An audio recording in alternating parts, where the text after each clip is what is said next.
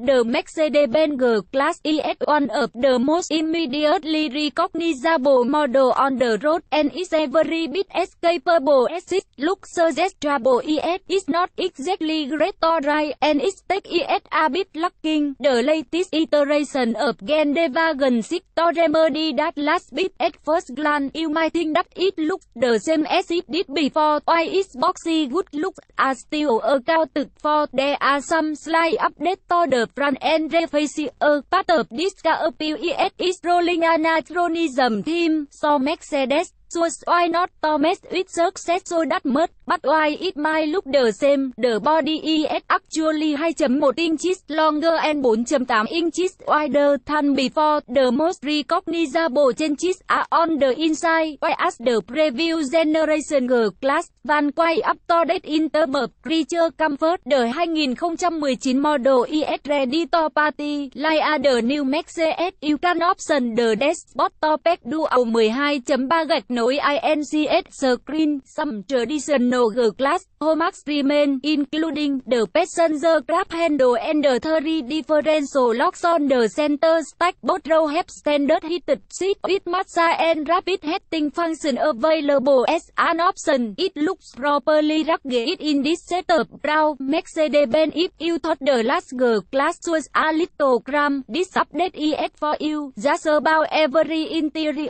dimension has increased from legroom is up 1.5 inches and legroom Room extend by out of 5.9 inches shoulder and hip room improved for both row of passenger by between 1 and 3 inches to to start the G-Class will be available in just the J550 trim, the engine ESA 4.0 gạch nối LITERV 8 Patting out 416 horsepower and 450 pound-feet of torque. It comes with to a new linear speed automatic transmission. Expect AMG variant to arrive later on, likely at the auto show throughout this year 2019.